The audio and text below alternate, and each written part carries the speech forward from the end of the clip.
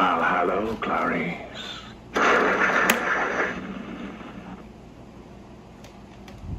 A census taker once tried to test me. I ate his liver with some fava beans and a nice Chianti.